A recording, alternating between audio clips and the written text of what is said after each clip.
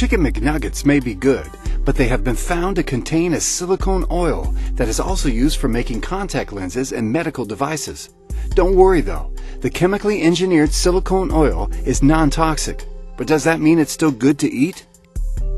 John Hopkins University researchers tested chickens that supply fast food chains and found a long list of prescriptions added to chicken feed as additives. Some such as antidepressants, antibiotics, arsenic, and allergy medications. Do you like green foods? Well, McDonald's uses propylene glycol to preserve their pre-packaged salads, so they stay nice and crisp as they may sit there for days. The same chemical is also used in antifreeze and vapor liquid for e-cigarettes. Mmm, apple pie. Cysteine L, an amino acid synthesized from human hair or duck feathers, is used to create artificial flavors for meat and helps soften mass-produced breads or pastries. McDonald's uses this in their apple pie and other baked goods.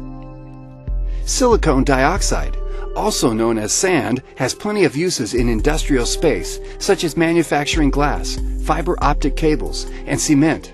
It's also used in the fast food field to prevent clumping. It's what allows the yummy Wendy's chili to sit in the pot for so long without turning into a big lump. Dimethyl polysiloxane is pretty much in every fried item you get at any fast food joint you go into. The same silicone compound is found in Silly Putty, a children's toy, but the fast food industry uses it to reduce the fryer oil from getting foamy.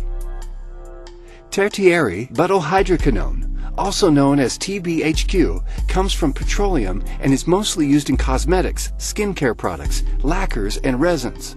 TBHQ has been found in 18 menu items at McDonald's. It took years for TBHQ to be approved for human consumption by food manufacturers. The FDA only allows the chemical to be 0.02% of a food's oil and fat because 5 grams of it is lethal. Cellulose, produced from wood pulp, is used in plenty of processed foods used by fast food chains. It's in everything from ice cream, syrups, salad dressings, and much more. It's used as a thickener and a way to use less flour and oil, which are more expensive. Pretty much every fast food place you can think of uses it.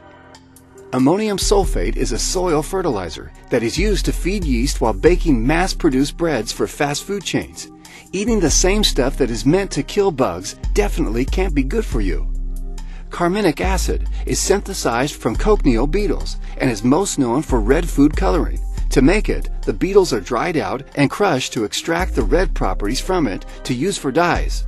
These dyes are used in meats, sausages, bakery products, toppings, marinades, desserts, and much more.